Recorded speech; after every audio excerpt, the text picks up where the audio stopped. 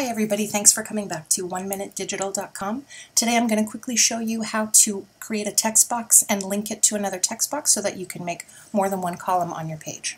So let me go to my text. I've just created some, uh, copied some dummy text here, some lorem ipsum. Copy. In Illustrator, use your type tool and maybe create a half page column here and paste your text in. And you can see at the bottom right it gives you a little red plus sign in a box. That's telling you that there is more text there that is not the end of your text and it's just a little warning. Using your black arrow, click on that little box and now you see your cursor turns into a little page icon. Just go somewhere next to it, click anywhere, don't drag, just click, and there you go. It gives you another column the same width as your first one and the text continues. You can see here that they are linked together. If you go inside anywhere and you start typing, you can see the text will move with you and they are linked together.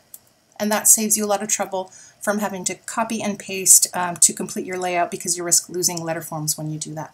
Okay, hope that was helpful for you and until next time, bye-bye.